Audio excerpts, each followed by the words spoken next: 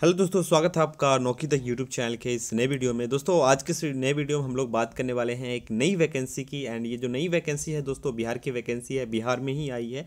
तो अगर आप बिहार में जॉब करने में इंटरेस्टेड हो तो इस वीडियो को ज़रूर देखें। दोस्तों, अगर बात जॉब की करें जॉब प्रोफ़ाइल की करें ना तो ये कोई कॉन्टैक्ट बेस की जॉब्स नहीं है, जो कि बिहार में ज़्यादातर देखने को मिलती है। ये जो जॉब होने वाली है, आपको जो जॉब जो दिया जाएगा, ये परमानेंट जॉब होने वाली है। कोई लिमिटेशन नहीं होगा कि एक साल बाद या दो साल बाद आपको हटा दिया जाएगा, कोई लिमिटेशन नहीं है परमानेंट जॉब होने वाली है। बात अगर हम पोस्ट की करें दोस्तों तो ए की पोस्ट के लिए रिक्रूटमेंट आई है। तो अगर आप एलिजिबल हो तो ज़रूर आप जो है आवेदन करें इस पोस्ट के लिए। मेल एंड फीमेल दोनों कैंडिडेट जो है एलिजिबल होंगे। बात अगर सैलरी की करें। सैलरी भी आप काफ़ी अच्छा खासा आप लोगों को दिया जाएगा इस प्रोफ़ाइल के लिए, इस जॉब्स के लिए। एंड नोटिफिकेशन दोस्तों, सबसे अच्छी बात है कि नोटिफिकेशन आ चुका है डिपार्टमेंट की तरफ़ से। तो पूरी बातें उसमें बताई गई है कैसे अप्लाई करना है, कौन अप्लाई कर पाएगा कौन कौन अप्लाई नहीं कर पाएगा। पूरी बातें मैं आप लोगों को इस वीडियो में बताने वाला हूँ तो इस वीडियो को आप लास्ट तक देखें। एंड दोस्तों, अगर आपने चैनल को सब्सक्राइब नहीं किया तो प्लीज़ सब्सक्राइब करें एंड सब्सक्राइब करने के बाद बेल आइकन ज़रूर प्रेस करें डेली बेसिस पे नई नई जॉब्स की नोटिफिकेशन पाने के लिए। एंड दोस्तों, हमारा एक टेलीग्राम का चैनल भी है, जिसका लिंक आपको डिस्क्रिप्शन मिल जाएगा, आप चाहें तो हमें वहाँ भी ज्वाइन कर सकते हैं। एक बार जाके चेक ज़रूर कर। लेना बिना किसी देरी के दोस्तों, फटाफट मैं आप लोगों को उस नोटिफिकेशन पर ले जाना चाहूँगा, जो कि डिपार्टमेंट की तरफ़ से, बिहार लोक सेवा आयोग की तरफ़ से रिलीज़ कर दी गई है। दोस्तों, ये रहा नोटिफिकेशन आप लोगों के सामने। नोटिफिकेशन मैंने पहले से डाउनलोड किया हुआ था। तो अगर आप भी डाउनलोड करना चाहें तो वीडियो में मैं आप लास्ट में बताने वाला हूँ कैसे डाउनलोड कर पाएँगे। एंड इससे पहले कहना चाहूँगा कि अगर वीडियो को आपने यहाँ तक देख लिया तो एक लाइक ज़रूर करें। एंड सब्सक्राइब नहीं किया तो सब्सक्राइब भी ज़रूर करें। दोस्तों, मैं थोड़ा सा जूम कर लेता हूँ ताकि आप लोग भी क्लियरली देख पाओ। सबसे पहले हम डिपार्टमेंट की बात कर लेते हैं। देखो, बिहार लोक सेवा आयोग की तरफ़ से रिक्रूटमेंट आई है, बीपीएससी की तरफ़ से रिक्रूटमेंट आई है। एंड यहाँ पे बात की गई है कि पथ निर्माण विभाग जो है बिहार के अधीन सहायक अभियंता के लिए जो है कुल जो है पोस्ट के लिए जो रिक्रूटमेंट आई है, जिसके लिए आप अप्लाई कर सकते हैं। दोस्तों नंबर ऑफ़ पोस्ट कम है बट कोई इशू नहीं है। जॉब प्रोफ़ाइल काफ़ी अच्छी है। अगर आप एलिजिबल हो तो इस पोस्ट के लिए ज़रूर अप्लाई करना। एंड यहाँ पे देख सकते हैं थर्टी फाइव परसेंट जो है फीमेल कैंडिडेट को जो है आरक्षण दिया गया है। अगर आप एक फीमेल कैंडिडेट हो, इस वीडियो को देख रहे हो तो थर्टी फाइव परसेंट का आपको बेनिफिट्स मिलने वाला आरक्षण मिलने वाला है, जो कि बहुत ही अच्छी बात है आप लोगों के लिए। टोटल पोस्ट की बात करें दोस्तों तो थर्टी वन पोस्ट के लिए जो है रिक्रूटमेंट आई हुई है। एंड आप लोगों में से बहुत सारे लोग सोच रहे होंगे तो अभी तक क्वालिफिकेशन नहीं बताया एलिजिबिलिटी नहीं बताया। बिल्कुल एलिजिबल मैं आपको बता देता हूँ एलिजिबिलिटी क्राइटेरिया क्या है, यहाँ पे देख सकते हो आप। सबसे पहले एलिजिबिलिटी के बारे में बताता हूँ, फिर उसके बाद सैलरी के बारे में बताऊँगा। यहाँ पे देख सकते हैं, शैक्षणिक योग्यता क्या मांगे किसी भी भारतीय विश्वविद्यालय या संस्थान से जो ए आई सी टी ई से जो अप्रूव्ड है, सिविल अभियंत्रण में डिग्री होनी चाहिए। यानी सिविल इंजीनियरिंग होनी चाहिए, सिविल में जो है डिग्री होनी चाहिए तो आप इस पोस्ट के लिए एलिजिबल हो। किसी भी जो है, किसी भी विश्वविद्यालय से। एंड यहाँ पे कुछ और भी इंस्ट्रक्शन दिया गया। बस ये इंस्ट्रक्शन आप फुलफिल कर लीजिए, आप इस पोस्ट के लिए अप्लाई कर सकते हैं। एंड दोस्तों, अगर सैलरी की बात करें ना तो लेवल नाइन के अकॉर्डिंग ग्रेड पे आपका फिफ्टी फोर हंड्रेड होने वाला है। सैलरी भी आपको अच्छा खासा दिया जाएगा। अगर आप फिजिकली चैलेंज्ड है, फिर भी आप अप्लाई कर सकते हैं।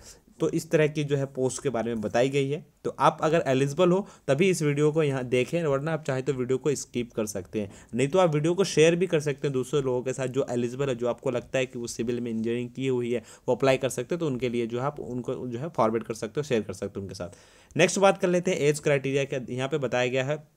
मिनिमम एज आपकी ट्वेंटी वन होनी चाहिए। एंड मैक्सिमम अगर आप महिला है, अनारक्षित है, forty years forty two years forty five years तक जो है एज रिलेक्सेशन रखा गया है। डिपेंड ये करता है कि आप किस कास्ट से बिलोंग करते हैं। एस सी हैं तो आपको, एस सी हैं तो आपको ज़्यादा एज रिलेक्सेशन मिलेगा। ओ बी सी हैं तो थोड़ा सा कम मिलेगा। इस तरह से जो आपको, जो एज रिलेक्सेशन दिया जाएगा। यहाँ पर देख सकते हैं ऑनलाइन आवेदन में आरक्षित कोटि कौन कौन है? S C S T E B C W S को जो है आरक्षण का बेनिफिट दिया जाएगा।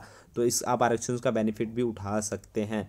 नेक्स्ट जो है, इसमें बताया गया है एप्लीकेशन फॉर्म भरते समय किन किन बातों का ध्यान रखना है? उन बातों का आप ध्यान रखना, आसानी से अप्लाई कर पाओगे। अप्लाई करने टाइम किसी भी तरह की कोई प्रॉब्लम होती है तो आप कमेंट्स में ज़रूर पूछ सकते हैं। तो कुछ इंस्ट्रक्शन दिया गया है, यहाँ पर देख सकते हैं। इंस्ट्रक्शन को ज़रूर पढ़े। एंड यहाँ पर मैं आप लोगों को इस साइड ले जाना चाहूँगा। इसमें क्या क्या मैंशन किया गया है? इसमें दोस्तों बात की गई है अप्लाई करने की, कब से कब तक जो है आप अप्लाई कर पाओगे, उसके बारे में चयन प्रक्रिया के बारे में बात की गई। सबसे पहले सिलेक्शन प्रोसेस बता देता हूँ। देखो सिलेक्शन प्रोसेस क्या है? इसमें आप लोगों का एग्ज़ाम लिया जाएगा, लिखित परीक्षा जो है का आयोजन किया जाएगा, एवं उसके बेसिस पे आपका मेरिट लिस्ट बनेगा। लिखित परीक्षा छः पन्नों की होगी, जिसमें चार पत्र अनिवार्य, दो पत्र ऐच्छिक होंगे। तो इस तरह से जो आप देख सकते हो सिलेबस के बारे में बात करें तो यहाँ पर देख सकते हो सामान्य अंग्रेज़ी, सामान्य हिंदी, सामान्य अध्ययन, सामान्य अभियंत्रण विज्ञान के सब्जेक्ट्स पूछे जाएँगे। टोटल एक घंटे का एग्ज़ाम होगा हंड्रेड मार्क्स का एग्ज़ाम होगा। सिविल अभियंत्रण में की जो है आपका एक्चुअल पेपर होगा। इस तरह से जो है आप पूरा यहाँ पे देख सकते हो, फिर अप्लाई कर सकते हो। ऑनलाइन करने के लिए लिंक डिस्क्रिप्शन में दे दूँगा ऑफिशियल वेबसाइट का, वहाँ से जाके आप आसानी से अप्लाई कर सकते हो। तो गाइज़ अब फ़ीस के बारे में हम लोग बात कर लेते हैं एंड लास्ट डेट के बारे में बात कर लेते हैं, कब से कब तक अप्लाई कर पाएँगे। बट उससे पहले मैं आपको फ़ीस के बारे में बता देता हूँ। देखो शुल्क के बारे में बात करें, अगर आप सामान्य अभ्यर्थी हो, ठीक है तो सेवन फिफ्टी रुपीज़ पे करना होगा आपको, ठीक है। केवल बिहार राज्य के अनुसूचित, बिहार से हो एस सी हो तो आपको टू हंड्रेड रुपीज़ पे करना होगा। बिहार राज्य के अस्थायी निवासी सभी आरक्षित आरक्षित और अनारक्षित वर्ग के महिला उम्मीदवारों के लिए टू हंड्रेड रुपीज़ है। फिजिकली चैलेंज हो, फोर्टी परसेंट से ज़्यादा है तो टू हंड्रेड रुपीज़ पे करना होगा। अन्य सभी उम्मीदवारों का अगर बिहार से बाहर के बिलोंग करते हो तो आपको जो है सेवन फिफ्टी रुपीज़ जो है आपको पे करना होगा। अब हम डेट्स की बात कर लेते हैं, कब से कब तक आप ऑनलाइन कर पाओगे।